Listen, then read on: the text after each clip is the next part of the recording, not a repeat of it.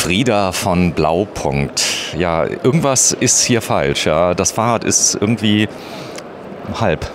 Ja, genau. Es ist natürlich auch äh, gefaltet, ne? Unser, unsere Frieda. Wir haben das äh, nicht nur unter Frieda, das ist auch ein Friedel, den wir haben in, in einem schönen Anthrazit. Wir haben hier ein 24 Zoll Faltbike mit einem sehr starken 600er Akku eingebaut im Rohrrahmen. Äh, sehr einfach zu falten. Man faltet das Fahrrad, während es auf dem Ständer steht. Das ist so ein typischer Briefträgerständer. Äh, wir haben ja, ungefähr 24 Kilo mit dem Akku eingebaut, kann man auch rausnehmen. Wir haben hydraulische Tektobremsen, natürlich alles zugelassen. Wir haben ein Farbdisplay, wir haben eine Handyhalterung. Äh, ich kann mein Handy auch, weil wir kennen das alle, wir fahren los, navigieren mit dem Handy, Handy ist leer. Ich kann mein Handy hier auch wieder laden mit einem kleinen Ladekabel. Hallo. Das ist ja praktisch, hallo. Du musst unbedingt runterkommen, Matthias, weil äh, du bist so stolz auf das Produkt, ja, was du hier zeigst. Und ähm, ähm, das ist quasi die Quintessenz bei Blaupunkt, was ihr entwickelt habt, dass ähm, eigentlich alles das beinhaltet, was sie gelernt hat aus den kleinen Falträdern. Das heißt, die müssen kompakt sein, die müssen extrem leicht zu falten sein. Die meisten Räder sind so schwierig zu falten, weil sie eben nicht fest auf dem Ständer stehen. Das ist hier anders. Das heißt, während des Faltvorgangs bleibt das Rad fix stehen und das ist ein Riesenvorteil. Ja, genau. Also es fällt mir nicht auf die Füße, ich klemme mir nicht die Finger oder die, oder die Schuhe irgendwo ein, sondern ich kann es auf diesen schönen Briefträgerständer stellen und kann es dann falten. So, wenn du mir nochmal zeigst, ganz langsam in Zeitlupe, wie man das wieder. Ach, Can, hallo. Es ist kinderleicht. Äh, Du ist ja jetzt kein Kind mehr, aber ähm, weißt du, die Bedienung, Sachen, die du nicht gerne machst, die machst du auch nicht. Ja, das ist so. Das hier ist leicht. Ja, es ist wirklich, wir haben es ja gesehen, es lässt sich wirklich sehr einfach falten. Vielleicht muss ich gleich noch mal Hand anlegen. Bitte schön. Einmal kurz mal zeigen. Sie hat schon geschafft. So, sie hat schon geschafft. Da ist zusätzlich noch eine Sicherung drin. Es kann nicht von selber aufgehen, oder? Nein, äh, es ist so eine kleine Entriegelungstaste da, damit ich äh, nicht mit meinem Fahrrad zusammenklappe. Wir haben hier noch einen Lenker, den wir auch noch offen, löse mal und einfach nur kaputt. Ah, okay, ein hochschieben. bisschen hoch und dann. Ja, passiert nicht so. Ach so, das heißt, das breiteste an so einem Fahrrad ist ja der Lenker und ihr könnt einfach den Lenker ohne Werkzeug hin und her schwenken. Genau, ich kann den schwenken, ich kann den äh, in, die, in die Längsstellung bringen und damit kann ich das Fahrrad auch äh, flach hinlegen, auch wenn ich in einem Pkw damit unterwegs bin. Oder ich schiebe das in einem Reisemobil und das Bett. Ja, es gibt horrende Strafen in Italien, wenn du keine Lichtanlage dabei hast, auch tagsüber. Hast du das gewusst? Das habe ich in Italien, war mir jetzt nicht so präsent. Ich denke mal, unsere Leute wissen das. Ich bin da jetzt nicht so Nee, nee, das weiß kaum jemand. Also du, du musst in Italien, wenn du fährst, ob sie es denn wirklich überprüfen, weiß ich nicht. Es gibt ein neues Gesetz. Du musst eine Lichtanlage dran haben, weil du könntest ja auch durch einen Tunnel fahren. Und da gab es ganz böse Unfälle wohl, äh, ich sag mal in Tunneln, dass Radfahrer übersehen worden sind. Und hier ist eine Lichtanlage mit dran, die wird über den Hauptakku gespeist. Ja, genau. Es ist aber, da kommen wir natürlich gerade noch dem entgegen. Wir haben nämlich eine Lichtautomatik. Unser Licht geht automatisch an, wenn es in die Dämmerung geht. Echt? Und das, und das Fahrrad oder das Licht blendet auch etwas ab, wenn ich andere Autofahrer blende und die mit mir mit Fernlicht entgegenkommen, dann blendet es auch ab. Auch sehr, eine sehr starken, ja, ein sehr starkes Rücklicht. Das ist brandneu, das Fahrrad? Brandneu. Ja, das Fahrrad kommt in, ich möchte mal sagen, in sechs Wochen auf den Markt. Wir stellen es heute hier exklusiv vor, den äh, Zuschauern und den Besuchern und es kommt sehr gut an. Ja, ganz wichtig ist dieser Aufkleber hier. Ich zeige mal gerade. Ein CE hat man mal schnell in China hinten drauf geklebt. Ich will jetzt nichts unterstellen, aber bei, bei Tests ganz, ganz oft, ja, haben die keine EMV-Prüfung, keine CEs wirklich und so weiter. Und sie haben oft einen Gasgriff hier dran. Und das ist ein Riesenproblem, weil es gibt zwar zugelassene Gasgriffe, die bis 6 km/h gehen, aber fast alle, die ich aus China bekommen habe, die Gasgriffe dabei haben, haben keine Zulassung. Man fährt ein nicht zugelassenes Kraftfahrzeug ohne Versicherungsschutz. Das ist hier ganz anders. Das ist rechtlich ein Fahrrad. Ja, auf jeden Fall. Wir haben keinen Gasgriff. Bei uns muss man treten. Und damit äh, erfüllen wir auch alle Anfordernisse für den europäischen Markt. Wichtig ist, es gibt mittlerweile Fahrradcops. Es gibt eigene Berichte von der ARD, die habe ich gesehen. Immer mehr Polizisten spezialisieren sich auf das Thema Fahrrad, stehen auf Fahrradräden, also auf, auf Wegen, wo man gerne fährt, am Bodensee und so weiter und so fort, fangen die Leute ab und die kennen sich richtig gut aus. Da kannst du nicht kommen, Das Hauptproblem ist, dass du die meisten Fahrräder über sogenannte versteckte Menüs tunen kannst. Und das ist nicht zulässig. Ja, das haben wir natürlich, dem haben wir ähm, vorgesorgt. Wir haben das gesperrt. Man, uns das kann man nicht tunen. Kann man vielleicht auch. Vielleicht gibt es irgendwelche gewitzte Leute dabei. Aber wir haben das eigentlich schon äh, entsprechend gesperrt. Und äh, wir finden das auch gut, dass gerade die schwarzen Schafe da rausgefiltert werden, weil wir, wie diejenigen, die es auch ehrlich meinen, auf den deutschen Markt auch für sicheres Fahren irgendwie sorgen wollen. Ja, die hat ähm, ein ganz neues Öl mit drin. Das ist sogenanntes Mineralöl, das heißt, es ist wartungsfrei. Das ist vielleicht bei der Bremse ganz wichtig. Normalerweise muss die Bremsflüssigkeit in Abständen bei Dottflüssigkeit gewartet werden. Das ist beim Mineralöl nicht mehr erforderlich.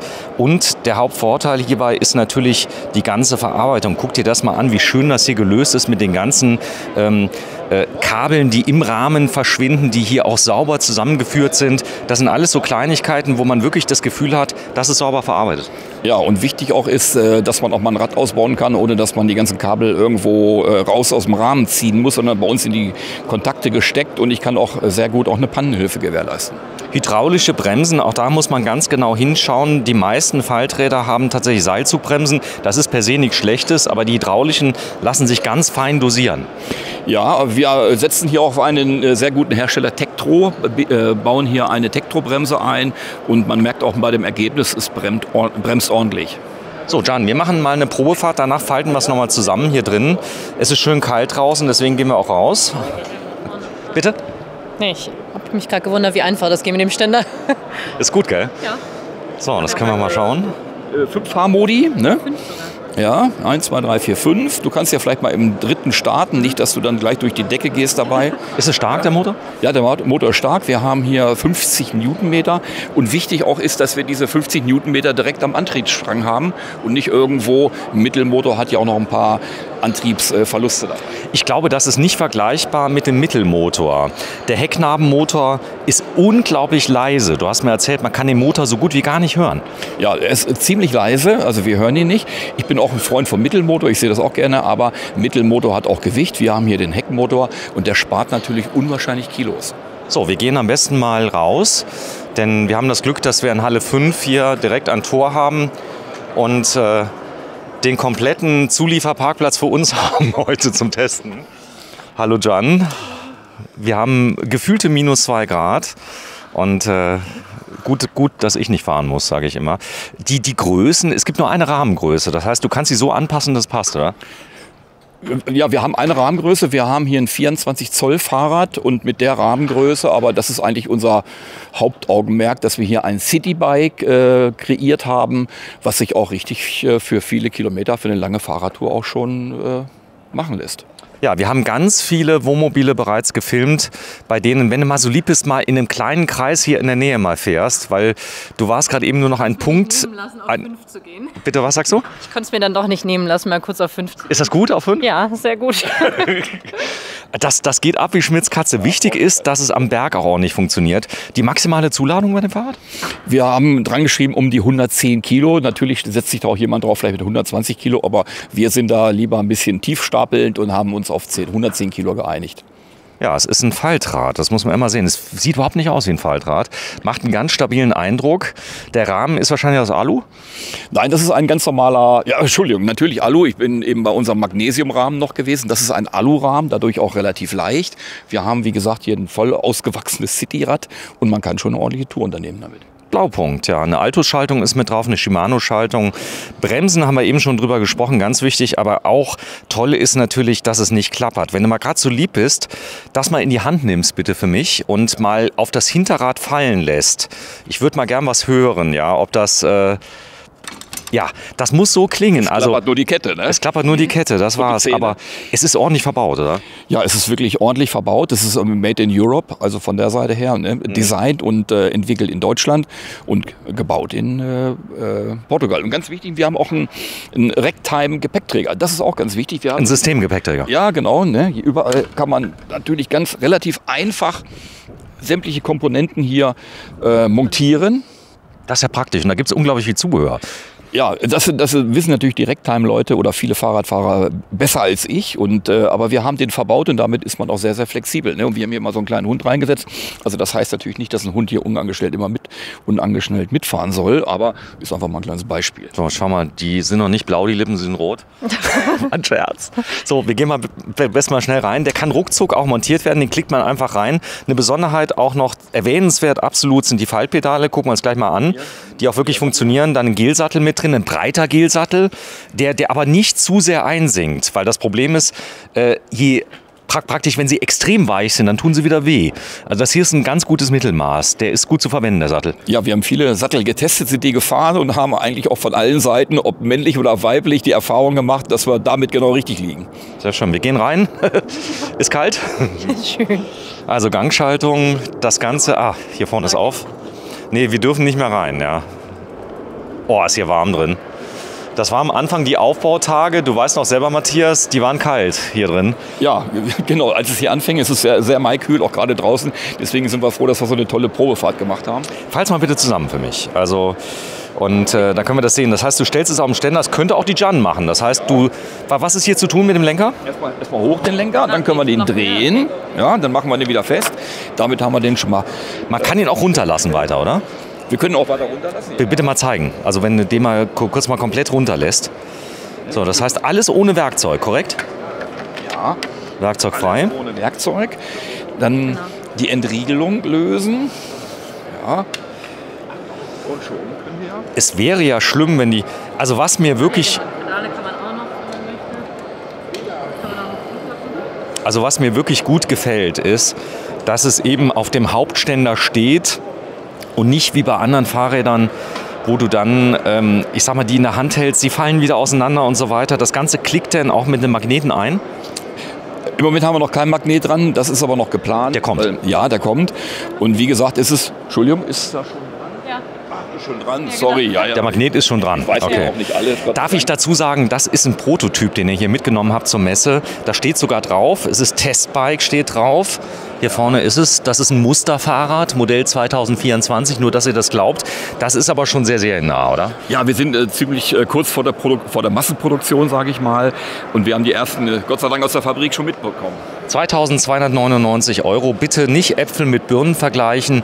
Das ist ein wartungsfreier Motor, der mit drin ist. 580 Wattstunden In-Tube-Akku. Auch alles sauber und aufgeräumt. Und es hat eine Zulassung. Am Stand von Blaupunkt ist es so klein, dass man das nämlich auch quer in Wohnmobile reinkriegt ja, wo du normalerweise keine große Ladehöhe hast. Ich glaube, dafür sind sie wirklich optimal, oder? Ja, also ist es sicherlich nicht ein Fahrrad, das ich äh, jeden Tag mit äh, durch die Gegend schleppe, irgendwo in der S-Bahn. Das ist wirklich für, für den Caravan-Bereich oder für den Kofferraum ideal geeignet. Ich kann es auch sehr gut reinheben. Ja, vielen Dank. Wir sind auf der CMT 2024 Blaupunkt und das müssen wir auch noch mal kurz zeigen. Komm mal bitte mit, Jan. Die haben tatsächlich noch, schau mal, sogenannte Retro-Autoradios. Die kennen die allermeisten meiner Zuschauer noch. Die waren verbaut und wenn man so einen schicken Oldtimer hat, dann will man natürlich die neue Technik haben, aber den alten Look. Ja, auf jeden Fall. Zum Beispiel das Bremen SQR 46 wurde 1986 bei Porsche direkt am Band verbaut bis 1991. Und damit mache ich mal den 911er wieder zu einem Original. Und das sieht da auch grün mit der Beleuchtung. Wir haben eine Vario-Collar. Wir können also jede Farbe einstellen. Und wir haben da so einen Demo-Modus an, deswegen zeigt er uns jede Farbe. Das ist ja krass. Du kannst aber auch dieses Orange einstellen, für das Blaupunkt so berühmt war, oder? Ja, wir können, äh, ob Orange oder Grün, auch für einen Golf 2, für alle äh, Varianten können wir die Farben einstellen. Ihr habt natürlich auch Multimedia-Systeme, äh, Zweifach, äh, Zweischacht-DIN-Systeme, Ersatz und so weiter. All das ist da, aber diese Retro-Radios, die werden euch aus den Händen gerissen, ne? Ja, das ist natürlich ein wirklicher Hype, ne? weil wir auch gerade so original und auch unsere, unsere Zielgruppe, die kennt das noch von früher. Ja, von der Seite her so, das sind die neuen. Äh, ganz, ganz viele Lieferwagen werden ja aus, äh, ich sag mal, ausgerüstet mit fürchterlichen Radios. Die kann man dann machen. Ihr seid sogar Erstausrüster mittlerweile. Ja, wir bauen äh, sehr viel an den Bändern bei Fahrzeugherstellern ein, wie auch im Baumaschinenbereich oder im Treckerbereich. Da haben wir ein Caravan-Radio, das ist für einen Wohnwagen. Das ist das zur Linken. Das ist ein Wohnwagenradio, was ich in einem Wohnwagen mit DAB dann ausrüsten kann. und wenn ich nämlich keinen Radio da irgendwo montiert habe. Ach so, du kannst zum Beispiel da jetzt auch den Fernseher mitkoppeln, der einen schlechten Sound hat, kannst ein paar Lautsprecher einbauen und hast dann die Möglichkeit, im Wohnwagen drin oder im Wohnmobil im Innenraum das Ganze zu betreiben über die Aufbaubatterie. Genau, ich kann hier einen ordentlichen Sound er erreichen. 199 Euro? Ja, 199 DAB Euro. drin, alles. Ja, alles dabei ne? und auch Bluetooth. Und, ich kann, äh, HDMI auch, das heißt, du kannst direkt den Fernseher koppeln. Und ich kann dann auch zwei Zonen noch vielleicht aufbauen. Ich kann einen Lautsprecher mit nach außen nehmen, ich kann Bluetooth nach außen bringen in mein Vorzelt und kann auch, während drin jemand schläft, kann ich draußen Musik hören. Sag mal, ist ja crazy. 89 Euro für die Rückfahrkamera. Ja, von, von genau. Blaupunkt. Genau, 89 Euro. Und die, die ist direkt zu koppeln mit eurem äh, System, ja? Nicht nur für unsere Systeme, sondern für sämtliche Systeme, die einen Kameraeingang haben und hat auch Nachtsicht. Ich dachte, Blaupunkt wäre immer so teuer. Äh, Das ist ja, ist ja preiswerter, als ich dachte. Ja, da, da, da hast du recht. Das ist wirklich ein sehr preiswertes Gerät und äh, Blaupunkt ist also nicht unbedingt teuer, aber gute Qualität. Ist der Sound gut? Ja, was soll ich anders sagen? Ne? Stimmt, wir sind ja hier am Stand. Ja, erstmal vielen, vielen Dank. Wir ziehen mal weiter, Matthias, und äh, wir werden mal sehen, wie sich das Ganze entwickelt. Ihr seid schon seit mehreren Jahren da auf der CMT, seid in Halle Nummer 5 und direkt am Eingang neben Hobby. Das ist äh, sehr sehenswert. Dass ihr Fahrräder baut, habe ich seit Jahren schon beobachtet bei Karatec, beim Harald Schäfer. Haben wir die ersten getestet. Aber mittlerweile seid ihr richtige Profis und äh, ja, wir werden mal schauen. Vielleicht nehmen wir die ja mal mit und äh, probieren das Ganze mal aus. Ihr habt auch die klassischen Typen, das ist auch alles eine Preisfrage. Wo geht's denn los? Also wenn ich ein Faltrad habe, vom Preis her? Also wir haben gerade ein Angebot hier auf dem Messestand ab äh, 1199 Euro und äh, die liegen eigentlich im Durchschnitt irgendwo zwischen 1200 und 1500 Euro. Ja, das zeigen wir noch einmal zum Schluss. Das ist das 1199. Haben wir ein eigenes Video von gemacht. Wenn du da mal gerade so lieb bist, das ist so ein kleiner Haufen, der da liegt, ja. Schön klein zu falten mit allem drum und dran. Wenn du mir das mal auseinanderfaltest, bitte. Sei mal so lieb. Gerne.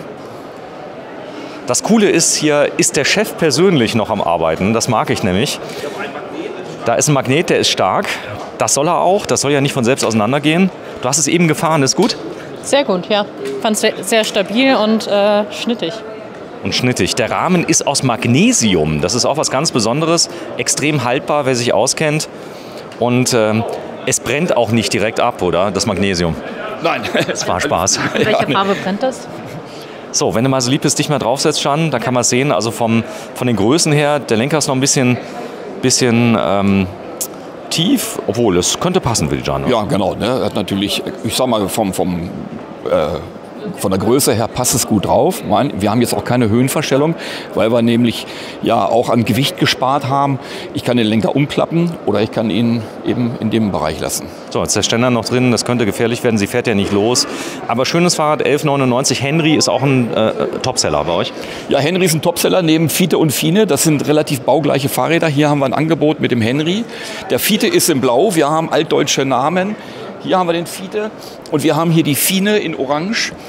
Ja, und das sind so unsere Design-Bikes und Topseller. Vielen, vielen Dank fürs Einschalten. Bis zum nächsten Mal am Stand von Blaupunkt 2024. Ihr habt sogar die Entwickler mitgenommen. Die alten Blaupunkt-Entwickler sind mit dabei, kümmern sich um die Technik. Also ganz viel vom Herzen Blaupunkt ist bei euch noch erhalten. Ja, wir haben ja keine E-Bike-Entwickler früher gehabt. Das Alt Blaupunkt hatte ja keine Fahrräder. Die haben wir natürlich aus, dem, aus der Branche uns, äh, ich möchte mal sagen, eingekauft. Die haben wir bei uns Board, an Bord. Aber für K-Multimedia haben wir ganz alte Hasen dabei.